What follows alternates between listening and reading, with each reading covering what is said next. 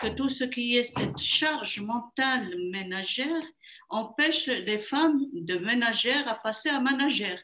Et souvent, c'est une contrainte aussi qui est liée au développement du pays, pas seulement en termes de croissance économique, mais en termes aussi de développement et de progrès. Nous avons enregistré ces derniers temps euh, un recul de l'emploi féminin, une faiblesse au niveau de l'entrepreneuriat liée justement à cette période de Covid, certes. En période de crise, c'est toujours les femmes qui subissent plus que les autres, mais aussi en fait qu'il y a même s'il y a eu des progrès dans nombre de pays, notamment ceux du Nord, euh, la question n'est pas définitivement close. Les réseaux sociaux peuvent essaimer un certain nombre d'idées, peuvent être dans cette nouvelle culture de partage et de mixité. Et euh, la preuve en a été l'impact euh, qui a été celui de la campagne euh, de Machir Ojolahedi et tout cela pour dire aux hommes, vous ne perdez ni en virilité ni en masculinité, mais vous perdrez en cohésion et donc aussi en stabilité. Je vais faire un bond en avant. Vous voyez euh, sur l'image d'à côté euh, Joseph Stiglitz euh, qui, au Forum économique mondial, questionne la manière qu'on a actuellement de calculer le PIB. Il propose d'y intégrer d'autres problématiques, dont la question du travail invisible et non rémunéré des femmes. Ce qui a été intéressant cette année, malheureusement, c'est que à l'occasion de la crise causée par le Covid-19, on a vu la disparité du travail fait à la maison par les femmes être encore amplifiée, explosée. Sauf que cette fois-ci, alors que ces phénomènes-là sont connus depuis toujours, mais sont invisibles et non quantifiés, ils sont devenus visibles parce que des enquêtes se sont penchées là-dessus. Euh, le partage du travail euh, des tâches euh, domestiques ou ménagères non rémunérées constitue un véritable enjeu de société, un enjeu économique, politique, sociétal, etc parce que nous avons deux tableaux, deux situations que je vais juste décrire euh, rapidement. D'un côté, le taux d'emploi des femmes est presque le quart de celui des hommes. Euh, en 2020, plus de 8 femmes sur 10 sont en dehors du marché du travail au Maroc. D'un autre côté, nous avons le travail domestique qui représente pratiquement 80%, selon les statistiques officielles. Valoriser une heure de travail domestique valorisée à une heure de travail au SMIC, payée au SMIC, fait que la contribution des femmes euh, au PIB est de, de 39,7%. Elle est, elle est de 49,3% si on la valorise alors à la rémunération salariale moyenne par heure dégagée de toutes les activités euh, économiques euh, nationales. Donc, entre 39 et 49% du PIB national. Avec ça, les femmes sont considérées comme étant entretenues. Cette idée que les femmes sont entretenues par les hommes est quelque chose de très répandu et fait partie de la génétique euh, marocaine, si vous voulez, ou dans les pays musulmans, parce que nous avons la législation familiale, le code de la famille au Maroc fait obligation au mari d'entretenir sa femme. Donc, cette idée que la femme est toujours entretenue par le, par le mari, quelle que soit la nature ou l'ampleur du travail qu'elle va effectuer, rémunéré ou non rémunéré, fait que pratiquement, les, hommes ont plus de droits que les femmes et plus d'avantages sociaux, politiques, etc. Pour conclure, je dirais que l'inégalité dans le partage de travail domestique non rémunéré n'est pas une question d'articulation ou de conciliation. Euh, continuer à poser la problématique en termes d'articulation ou de conciliation revient ou renvoie en réalité à une articulation juste pour les femmes. Je, pense que le partage du travail domestique est une, euh, non rémunéré est une, une, vraie question des droits de l'homme, comme le souligne la rapporteure spéciale des Nations Unies sur l'extrême pauvreté et les droits humains. Et je vous remercie. Moi, je fais le constat que les hommes représentent en France 83% des mis en cause par la justice, 90% des personnes condamnées par la justice, 96% de la population carcérale et qu'ils sont surreprésentés dans tous les types d'infractions et notamment les plus graves. 99% des auteurs de viol, 86% des auteurs de meurtres, etc., etc. La question de la santé aussi se pose euh, pour les hommes puisqu'ils ont trois fois plus de risques de mourir de façon prématurée, c'est-à-dire avant 65 ans, et d'une mort évitable, c'est-à-dire liée à un comportement à risque. Et les décès donc liés au cancer, liés à l'alcool, au tabagisme, concernent dans 80% des cas des hommes. Également, les hommes se suicident trois à quatre fois plus que les femmes. Et je vais euh, finir par ce dernier chiffre euh, donc de la, sécurité routière, puisqu'ils sont responsables de 84% des, euh, des, accidents mortels de la route et représentent 75% des morts sur la route. Dans mon essai, le coût de la virilité, j'estime à près de 100 milliards d'euros par an en France les sommes supportées par l'État et la société pour faire face aux comportements asociaux et délinquants des hommes. Euh, la science a largement démontré qu'il n'y a rien de biologique qui prédétermine les hommes à se comporter ainsi. Euh, ni le cerveau, ni la testostérone. Par exemple, les dernières études sur le sujet ont montré que des taux de testostérone élevés chez un même individu peut provoquer des comportements altruistes comme des, comportements pacifiques. À l'inverse, euh, les sciences de l'éducation ont montré qu'il y a une véritable acculturation des garçons euh, aux valeurs viriles, à la virilité, dès leur plus jeune âge. C'est-à-dire que les parents, l'entourage valorisent la force, la vigueur chez les enfants qui sont encore tout petits. Euh, ils développent moins chez eux les sentiments, euh, moins de contact physique, les préviennent moins des dangers. Et les démonstrations de force euh, arrivent très vite dans les jeux, que ce soit les jeux de bagarre, de bataille avec euh, des armes factices. Également, il y a toute la culture euh, avec les livres, les films, lesquels l'immense majorité des héros sont des garçons, des hommes qui s'adonnent donc à des comportements virils, violents, qui légitime cette violence. Et les études montrent que euh, les garçons euh, développent une appétence très rapidement pour ces comportements-là et une identification à ces personnages. Voilà, on voit bien que la virilité, la science l'a démontré, est une construction sociale qui est extrêmement encore valorisée dans nos modèles éducatifs et qui se transmet de génération en génération parfois par des mécanismes inconscients. Cette virilité a des conséquences dramatiques sur la vie euh, des hommes, sur leur santé, puisque effectivement, quand euh, on ne peut pas montrer sa faiblesse physique, psychologique, quand on ne parle pas de ses sentiments, euh, il y a une dégradation de, la santé. Il y a des études qui montrent que plus les hommes sont attachés à une image rigide de leur virilité, moins ils ont recours à des soins de santé préventifs.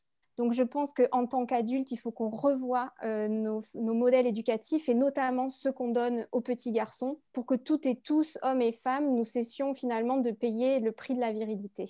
J'aimerais référer quand même aujourd'hui euh, euh, à un moment où on est en train de sortir, et je l'espère, de cette crise sanitaire mondiale.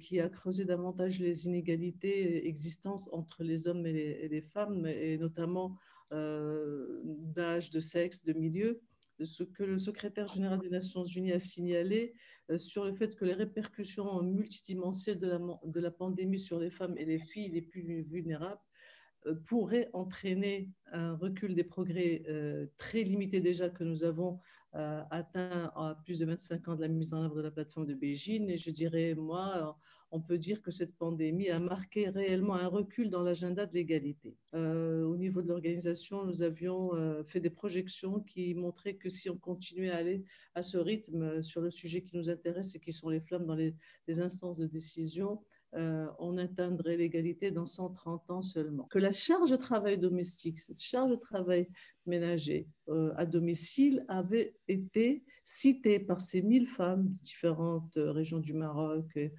comme étant le frein principal à leur euh, accès à l'emploi. Donc, euh, nous avons développé euh, au niveau de ONU Femmes un certain nombre d'initiatives depuis quelques quatre années maintenant sur les masculinités positives, maintenant sur la paternité. Vous avez suivi certainement notre campagne parce que je suis un homme qui vise à déconstruire les stéréotypes de genre et, les, rôles sociaux en, promouvant des modèles masculins qui s'inscrivent dans l'égalité, qui s'inscrivent dans le partage équitable des tâches. Le mouvement Iforchi euh, montre bien que la lutte contre les stéréotypes et les inégalités doit être un travail transversal, comme l'a très bien dit Madame Rioui avant moi, parce que ça doit être vraiment un travail mené par tous les acteurs de la société, que ce soit les entreprises, les secteurs éducatifs et politiques. les hommes ont un vrai rôle à jouer comme des alliés des femmes et pourquoi pas peut-être commencer avec en, en signant l'engagement euh, e maintenant sur e ou quand même après, après cette conférence et inviter vraiment votre entourage, la famille, euh, les entreprises, vos entreprises à le faire aussi. Surtout d'une expérimentation que nous avons menée depuis janvier 2020 euh, sur un allongement du congé de paternité pour les hommes. Les hommes qui, sont, euh, qui deviennent papa peuvent prendre trois jours de naissance à l'arrivée du petit et puis ensuite 11 jours de paternité c'est relativement euh, déséquilibré par rapport au congé de maternité.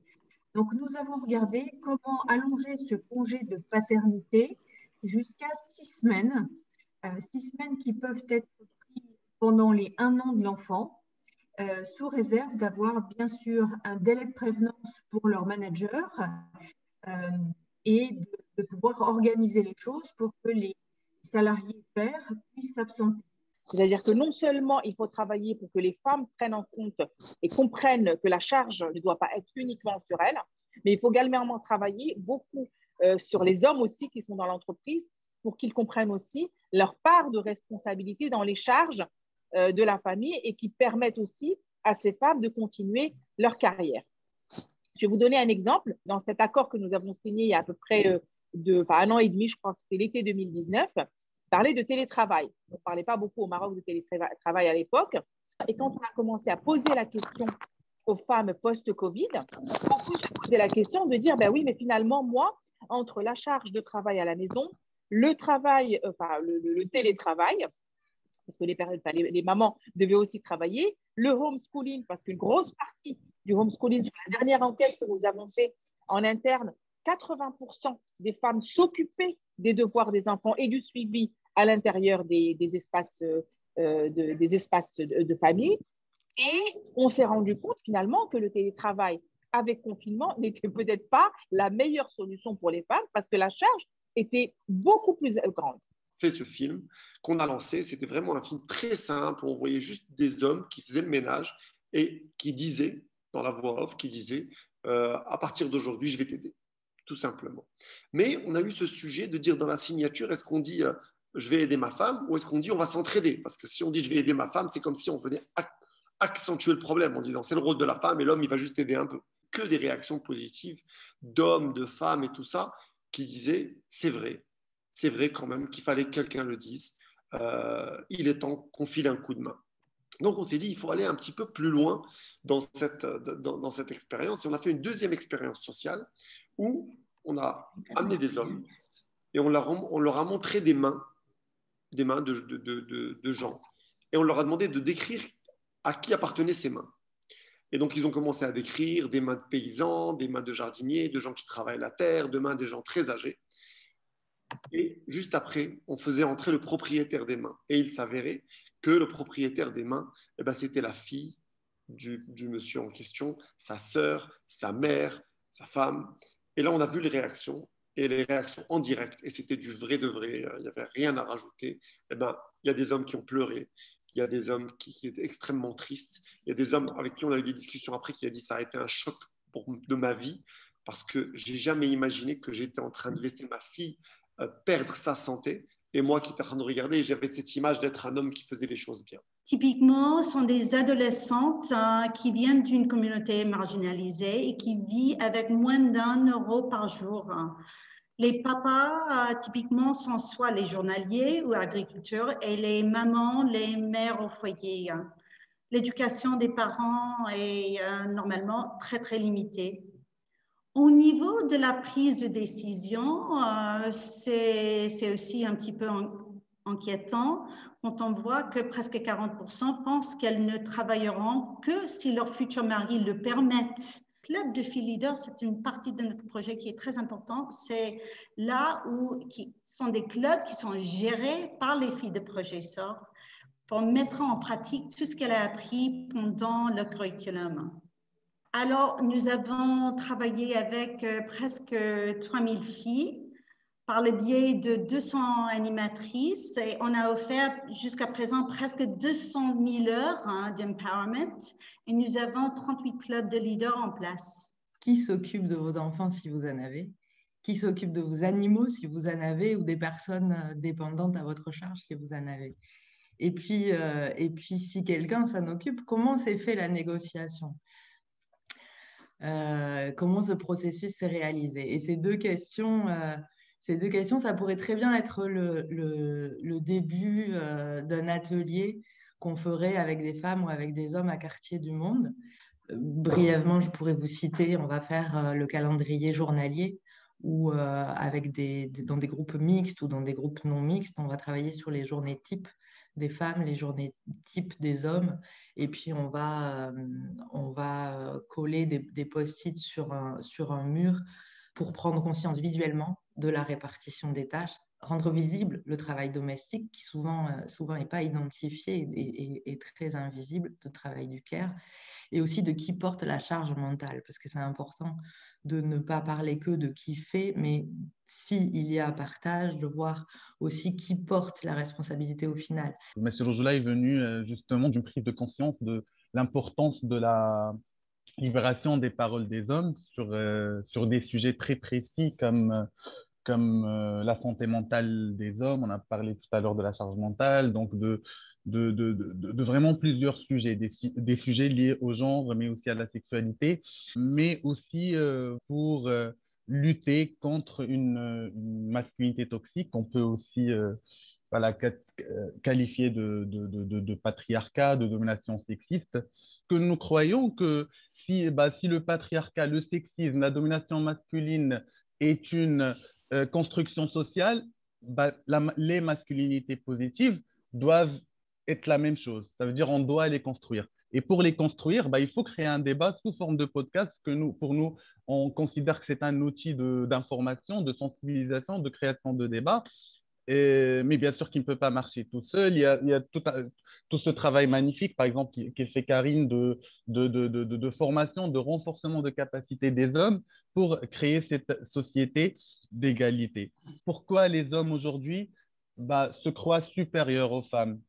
On, émancipe les femmes euh, du, travail euh, domestique sans euh, déconstruire les masculinités, bah, finalement, ça donne une autre forme de domination qui est la domination liée au genre et à la classe en faisant rémunérer certaines femmes, mais dans des conditions défavorables d'invisibilisation, de, etc. Et donc, nous pensons aujourd'hui, en tant que jeunes travaillant sur la plateforme que la solution est la déconstruction des masculinités, ça veut dire penser l'homme autrement aujourd'hui, en déconstruisant bah, tous les aspects, tous les, éléments, tous les composants de cette masculinité, que ce soit la religion, euh, l'éducation, euh, l'art, euh, etc. L'épouse, islamiquement, n'est pas tenue d'accomplir les tâches domestiques et éducatives.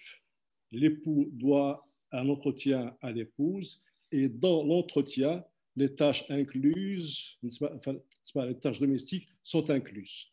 Puis j'ai réalisé une autre étude euh, en deux temps, une en 2008 et l'autre en 2010, sur l'éducation parentale et comment les hommes s'impliquent dans les tâches éducatives euh, avec leur épouse pour soigner les enfants, pour prendre en charge les enfants. Alors, ces deux études m'ont montré que il y a effectivement une masculinité marocaine en transition. Cela dit, il reste qu'il y a deux choses qui vont ensemble. D'une part, la grande majorité des femmes se révoltent, elles-mêmes reproduisent les normes de genre patriarcal et traditionnelles. Pour eux, pour ces femmes, pour elles, un homme à la cuisine, ce n'est plus un homme, c'est une femme. Et puis, même pour euh, les hommes, les hommes s'engagent rarement dans le féminisme comme une lutte pour l'égalité des droits et pour le partage des tâches domestiques et éducatives. Peu, peu d'hommes, personnellement, comme tu le sais, j'ai essayé de fonder une association de la masculinité égalitaire au Maroc euh, beaucoup d'hommes se sont dit euh, enthousiasmés, ils ont voulu m'accompagner, mais quand j'ai annoncé, quand j'ai proposé une date pour une réunion constitutive, pour l'Assemblée constitutive, tous les hommes se sont rétractés et je me suis retrouvé seul. Le fait que dans cette table ronde, on n'ait pas qu'un point de vue élitiste sur l'égalité, parce que d'habitude, quand on parle leadership, quand on parle masculinité, on a tendance à euh, faire intervenir ou montrer des initiatives qui mettent en avant, on va dire, la frange euh, la plus à l'aise de la société. Euh, on a vu, par exemple, avec le travail de Karine Troussel, par exemple, avec la publicité Mio, avec Engie, avec l'ONG SOR, que on pouvait aussi faire des programmes d'empowerment pour sortir les petites filles et les hommes de leur rôle traditionnel en s'attaquant aux personnes les plus pauvres qui vivent avec moins d'un dollar par jour. Ça, c'est très important. On voit qu'il y a cette dynamique, on voit que le rôle traditionnel de la femme marocaine et de la femme française est en train de changer, mais qu'il y a encore de grosses résistances. On remet une grande partie de ce rôle euh, entre les mains des penseurs et des penseuses qui sont là aujourd'hui, de la société civile avec ONU Femmes, ONU Maghreb, mais donc aussi des entreprises, la CGEM, le MEDEF. On n'a pas évoqué le rôle des syndicats, le Global Compact de l'ONU, donc tous ces, tous ces acteurs qui montrent que c'est vraiment ensemble qu'on va pouvoir faire avancer euh, ces chiffres-là. Je terminerai par dire, en citant euh, la sociologue féministe que vous avez là en photo, Réjeanne Sénac, quand bien même l'égalité et l'égalité femmes-hommes à la maison ou en entreprise, avec ou sans la RSE, ne seraient pas performantes, comme bien même elle ne serait pas un business case, quand bien même elle ne serait pas rentable, elle serait moralement souhaitable.